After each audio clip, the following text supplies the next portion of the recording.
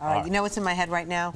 Two steps forward and two steps. I'm like that's what I'm thinking about all morning. The song is 25 years old, I but know. it's still a hit. Uh, that's Paula Abdul. Uh, that album, Paula Abdul's debut album, every song on that album was a hit. Paula Abdul, some people don't remember the album. They, of course, do remember American Idol when she was a judge. Oh, she was fantastic on that show. I thought it was a lot of fun, and I, I actually liked how she got along with uh, Simon. Apparently, there was some tension there, but I thought she was really, really good. That was part of their shtick, I think. But before she was a, a judge on American Idol, she was a dancer and choreographer. I mean, she worked with Michael Jackson. She can dance. Next stop on in, in her career, America's Got. No, I'm sorry. So you think you can dance? So you think you can dance? With Nigel Lythgoe, who we love, and Jason Derulo is going to be a judge on on the show as well. It premieres tonight at 8 o'clock right here on Channel 5. Paula Abdul dropped by recently to talk about it. It's exciting. it's exciting for me. I, I love the show. I love the whole, ah, the spirit and psyche of these amazing dancers. It's dancers are unlike any other talent, so it's just the most cool thing. Well, to be that's a how you part of. started out. I did. I'm very fortunate to have had an amazing career as a choreographer.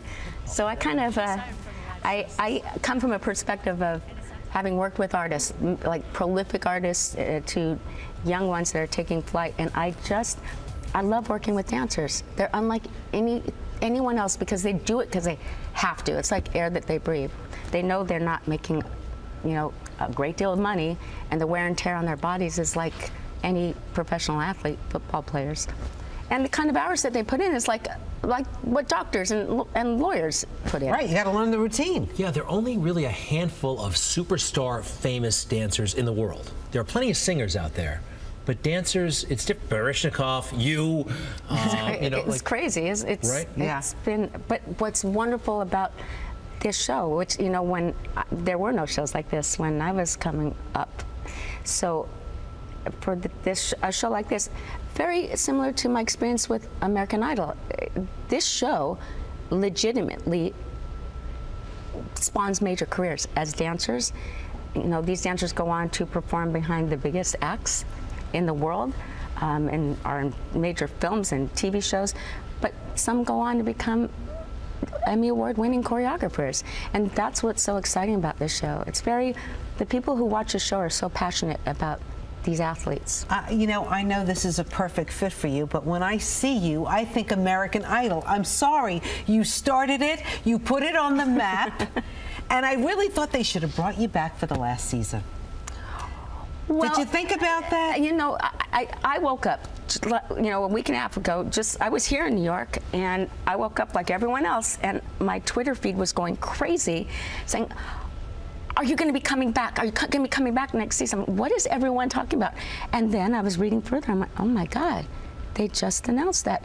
And I, it, it was a, I knew it would eventually come, but I, I was a little shocked. And then I started feeling melancholy because I mean, that changed the, not only the trajectory of everyone's lives, but mine and mine too.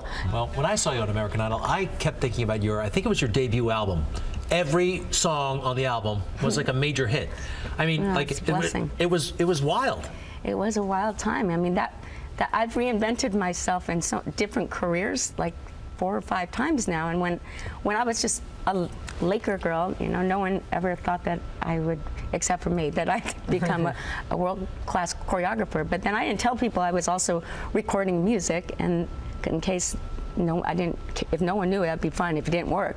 But then that happened, and and then to be able to come back on a brand new show that changed, that made history and changed the face of television is a It really made so many. I mean, not only you guys were super, you were superstars before you started, but then you were super duper Really, stars. was Simon Cowell a superstar? Let me think.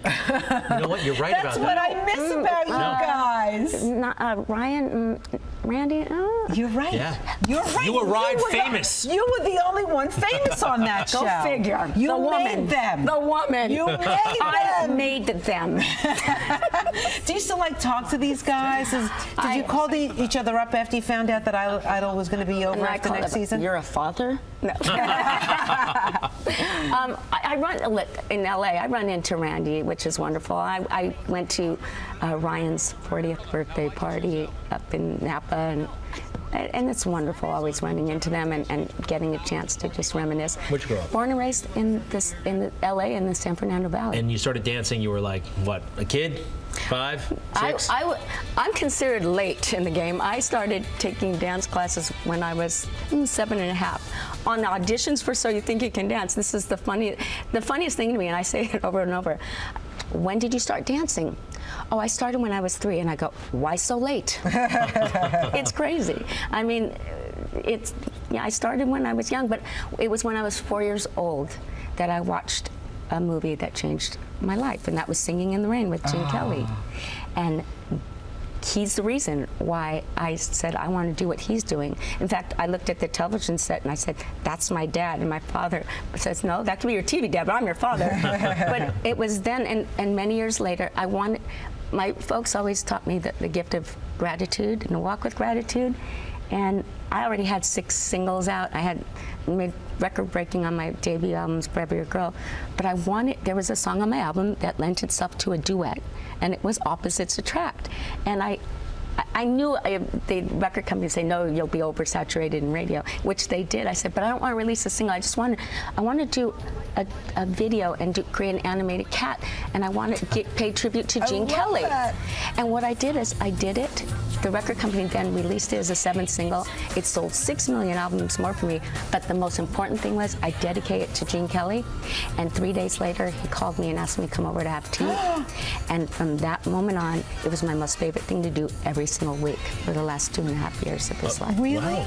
Yes, that's the that's the gift of gratitude that I can, you know, I get to knock on wood and say, it's it's so important. Well, That's beautiful. Did I hear for a moment you were concerned about oversaturation? Because there was a time. No, my record. Well, yes. You my- turned on the radio. It was it was you and only you. Right, sorry. No, it was it was it was wild. You remember that? I do. I, I'll never forget the first time I heard my song on the radio. It was like one of those double whammies. I was like, like that, and I was at a stoplight, and I looked over, and they were they were like singing straight up, like full on with their holding their steering wheel, and I'm going, oh my God! And then they looked over at me, and they're going. Oh my God! It was like one of those moments that, yeah, it was. It was a nice, nice run and I, fun experience. Do you think that you'd ever go record another song? I am. You are right now? I am, and um, I'm going. I'm putting together a musical uh, version of my life story.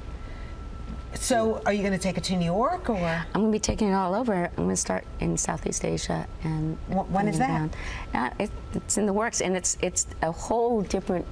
You know me. I I, I kind of break the barriers and do try new creative things, and I'm very excited because it's paralleling my life story and an underground world of Scat Cat's life story. Oh, that's Wow. awesome. We're so happy that you're back on TV. I'm happy. Fantastic. I love this show, and it's it's like a hand of glove for me. Would you say hello to Nigel for us? He's one of our favorites there. He's awesome. Yeah, we're having a lot of fun. we're having a lot of fun. Paula Abdul, everybody. Thank you so much. Thank Great you to see so you. much. All It's right, great. check her out. 12th season of So You Think You Can Dance. Good Day New York is coming right back.